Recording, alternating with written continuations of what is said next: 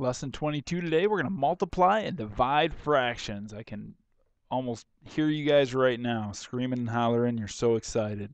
You know, to be honest with you, I don't understand the apprehension with multiplying and dividing fractions, why people always want to reach for a calculator.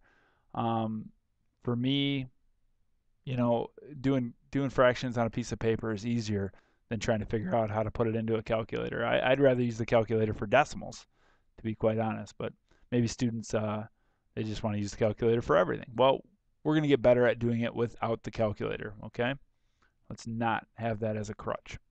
Here we go. Let's multiply one fourth and one half, and we're going to use an area model, model to illustrate the multiplication. Okay, so here's the area model. I'll just make a square here. I'm going to cut it in half and shade half of it. Doesn't matter which half you shade, there's my half. Then I'm going to break up the other side into fourths and I'm going to shade a fourth of it. Now you can see the one piece that's shaded both green and red. One piece shaded, so that's the one right there. And there's eight total pieces, hence the eight on the bottom. Okay, that means that one fourth times one half is one eighth. Okay, so we divided it in half, shaded half of it, divided it into fourths, shaded a fourth of it.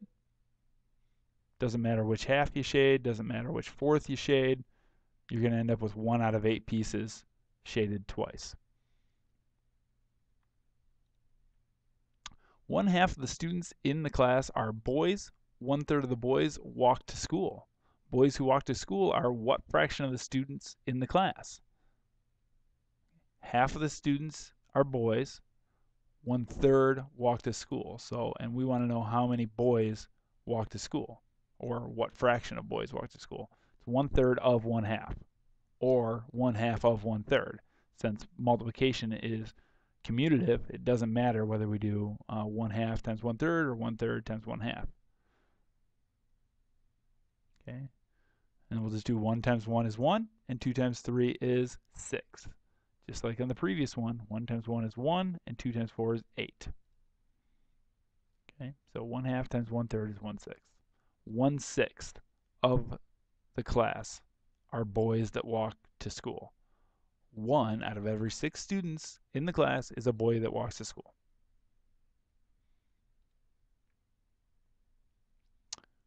All right, so some real world applications and, and a model there to begin. Now let's just multiply these fractions. For multiplying, it's just top times top, bottom times bottom, numerator times numerator, denominator times denominator. 1 times 3 is 3, and 2 times 4 is 8. 3 eighths we are done. Okay. now you always want to leave your answer as a simplified fraction. 3 eighths is simplified. On D, what I'm going to propose to you, and this makes your life a whole lot easier, is simplify before you multiply. 5 sixths can't be simplified. 2 thirds can't be simplified. But you can also look at this diagonally. Do 2 and 6 have any common factors? Yeah. 2 divided by 2 is 1 and 6 divided by 2 is 3. Then we'll go 5 times 1 is 5, and 3 times 3 is 9. And there's our simple our answer. It's a simplified fraction already, as opposed to if we got 10 over 18, we would have to simplify that to 5 ninths anyway. It's easier to do it first because you keep your numbers smaller.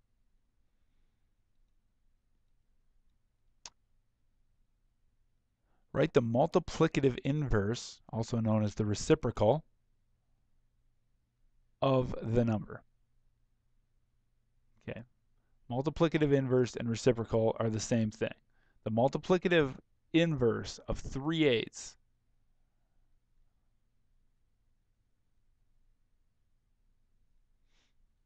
is 8 thirds. Okay, and the reason 8 thirds is the multiplicative inverse of 3 eighths is because when you multiply 3 eighths by 8 thirds, you get 1. So whatever number you multiply a number by to get 1 is its multiplicative inverse. You flip it upside down. Okay, but that's not so easy here with 4. What do we multiply 4 by to get 1? Well, 4 times 1 fourth. See how the 4's cancel out? That'll leave you with 1. So the reciprocal of 4 is 1 fourth. Now don't make the mistake when I ask you these questions on a test or a problem set or that to say that 3 eighths equals 8 thirds. Okay, that's that that's first of all that's not even a true statement. 3 eighths does not equal 8 thirds. What we're saying is 8 thirds is the multiplicative inverse of 3 eighths. 1 fourth is the multiplicative inverse or reciprocal of 4. Don't don't use an equal sign in there. How many 2 thirds are in 1? That's a funny question. How many 2 thirds are in 1? Well, what they're really asking us to do here is divide 1 by 2 thirds. 1 divided by 2 thirds. Okay, that'll tell us how many 2 thirds are in 1. Just like if I said how many 1 halves are in 1, you divide by 1 by 2. Okay, well, when we're dividing by a fraction, what we really need to do is multiply by the reciprocal. And then the identity property of multiplication, we know that this is 3 halves, okay? Or 1 and a half if you prefer your mixed number. I'll, I'll take either one personally. So 1 divided by 2 thirds is the same as 1 times 3 halves, which is 3 halves. Look at a similar question here. 1 divided by 3 fifths. Well, that's the same as 1 times its reciprocal, 5 thirds is 5 thirds. And 1 divided by 1 sixth, that's the same as 1 times its reciprocal, 6, which is 6. Okay, you're not doing anything with the first number. You're leaving it alone completely. Okay, uh, the second number, yeah, we need to find the reciprocal. Dividing is the same as multiplying by the reciprocal.